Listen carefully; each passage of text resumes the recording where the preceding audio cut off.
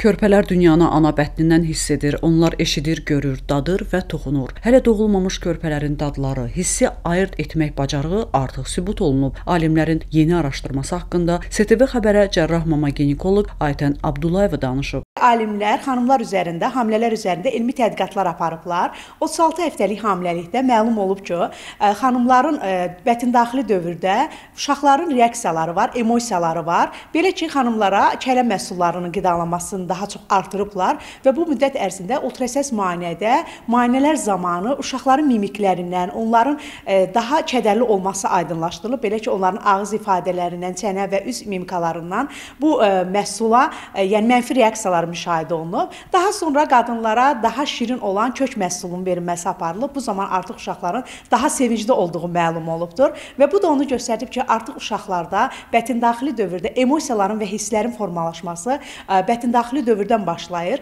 Ona görə də hətta e, xanımların stres yaşaması fonunda da aparılmış ultrasəs müayinə zamanı uşaqların mənfi reaksiyaları müşahidə olunub. Onların ağlaması və gülməsi kimi əlamətlər müşahidə olunub. Əgər hamilə qadınlar sevincli olarsa, bu zaman uşaqlar da sevincli olacaqdır. Hamilə qadınlar hər hansı bir stres keçirərsə, həyəcanlı və gərgin olarsa, o zaman bətndaxili dövrdə çənə hərəkətlərinə, mimik hərəkətlərdən uşaqların da daha çox ə, stresli olması və ağlaması düşünülən kimi hallar müşahidə olunur olunmuşdur. Ona görə də bütün hamilələrə müraciət edirəm, xanımlara müraciət edirəm ki, çalışın ki, bu dövrü sakit keçirəsiniz, stressdən kənar keçirəsiniz və qidalanma rejiminə, düzgün qidalanmaya diqqət edəsiniz əziz xanımlar. Sonda həkim gələcək anaların hamiləlik dövründə stressdən uzaq olmağının vacibliyini vurğulayıb.